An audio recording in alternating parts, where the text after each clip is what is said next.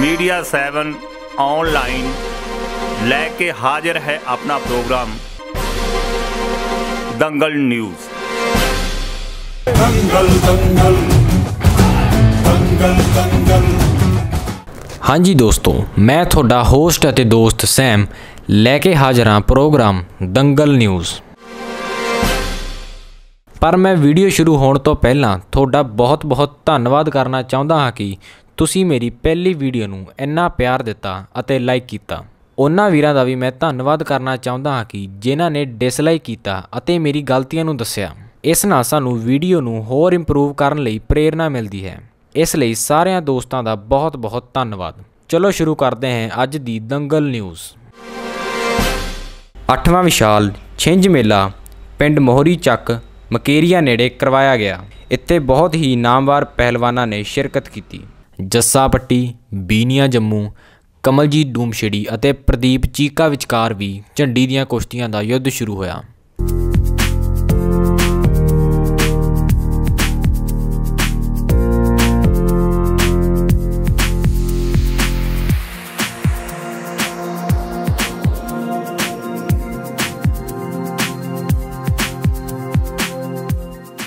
ਕੁਸ਼ਤੀਆਂ ਦੇਖਣ ਵਾਲੀਆਂ ਸਨ।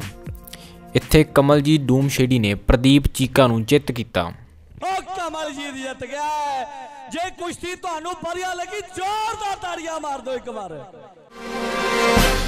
ਫਿਰ ਯੁੱਧ ਸ਼ੁਰੂ ਹੋਇਆ ਜੱਸਾ ਪੱਟੀ ਅਤੇ ਬੀਨੀਆ ਜੰਮੂ ਵਿਚਕਾਰ ਜੋ ਕਿ ਬਹੁਤ ਹੀ ਸ਼ਾਨਦਾਰ ਕੁਸ਼ਤੀ ਦੇਖਣ ਨੂੰ ਮਿਲੀ।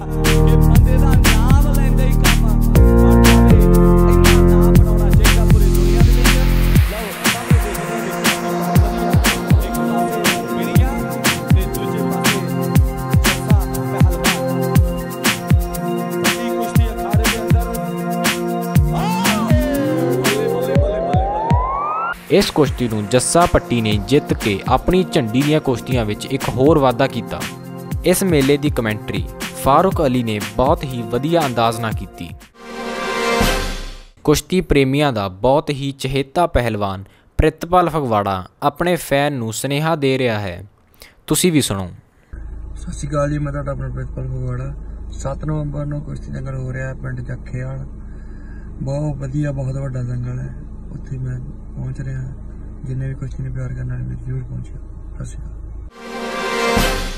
ਮਿਤੀ 4 ਅਕਤੂਬਰ 2019 ਦਿਨ ਸ਼ੁੱਕਰਵਾਰ ਨੂੰ ਪਿੰਡ ਜੋਗਰ ਆਲਮ ਸਿੰਘ ਵਿਖੇ ਕੁਸ਼ਤੀ ਦੰਗਲ ਮੇਲਾ ਹੋਇਆ। ਇੱਥੇ ਪੰਜਾਬ ਦੇ ਟੌਪ ਦੇ ਪਹਿਲਵਾਨਾਂ ਨੇ ਹਿੱਸਾ ਲਿਆ। ਝੰਡੀ ਦੀਆਂ ਕੁਸ਼ਤੀਆਂ ਵਿੱਚ ਦੂਜੇ ਨੰਬਰ ਦੀ ਝੰਡੀ ਤੇ ਲੱਕੀ ਗਰਚਾ ਅਤੇ ਫਰੀਦ ਵਿਚਕਾਰ ਕੁਸ਼ਤੀ ਹੋਈ। ਤੇ ਜਿਹੜੀ ਕੁਸ਼ਤੀ ਵੱਡੀ ਮਾਲੀ ਦੀ ਇਹਦੇ ਪੈਸੇ ਵਿਜੇ ਪ੍ਰਵਾਨੀ ਦੱਸੋ ਮੈਨੂੰ ਇਹ ਕਿੰਨੇ ਦੀ ਹੈ ਇਹ ਵੀ ਆਪਾਂ ਅਨਾਉਂਸ ਕਰ ਦਈਏ।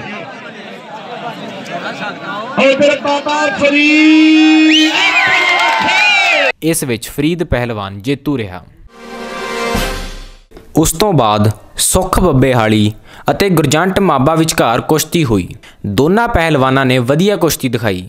ਪੂਰੇ ਟਾਈਮ ਵਿੱਚ ਵੀ ਕੋਈ ਨਤੀਜਾ ਨਹੀਂ ਨਿਕਲਿਆ। ਇਸ ਲਈ ਕਮੇਟੀ ਨੇ ਕੁਸ਼ਤੀ ਨੂੰ ਬਰਾਬਰ ਦੇ ਦਿੱਤਾ। ਤੁਸੀਂ ਵੀ ਆਪਣੇ ਪਿੰਡ ਦੇ ਛਿੰਝ ਮੇਲੇ ਦੀ ਨਿਊਜ਼ ਲਵਾਉਣ ਲਈ ਥੱਲੇ ਦਿੱਤੇ ਗਏ ਨੰਬਰ ਤੇ ਵੀਡੀਓ ਅਤੇ ਫੋਟੋਆਂ WhatsApp ਰਾਹੀਂ ਭੇਜ ਸਕਦੇ ਹੋ। ਹਾਂਜੀ ਦੋਸਤੋ, ਜੇ ਤੁਹਾਨੂੰ ਸਾਡੀ ਇਹ ਵੀਡੀਓ ਵਧੀਆ ਲੱਗੀ, ਤਾਂ ਇਸ ਵੀਡੀਓ ਨੂੰ ਲਾਈਕ ਅਤੇ ਕਮੈਂਟ ਜ਼ਰੂਰ ਕਰਿਓ। ਅਤੇ ਸਾਡੇ ਚੈਨਲ ਮੀਡੀਆ 7 ਨੂੰ ਸਬਸਕ੍ਰਾਈਬ ਕਰਕੇ ਨਾਲ ਵਾਲੇ ਬੈਲ ਆਈਕਨ ਨੂੰ ਵੀ ਜ਼ਰੂਰ ਦਬਾ ਦਿਓ, ਤਾਂ ਕਿ ਤੁਸੀਂ ਸਾਡੀਆਂ ਆਉਣ ਵਾਲੀਆਂ ਵੀਡੀਓ ਨੂੰ ਜ਼ਰੂਰ ਦੇਖ ਸਕੋ। ਤੁਹਾਡਾ ਹੋਸਟ ਅਤੇ ਦੋਸਤ ਸੈਮ।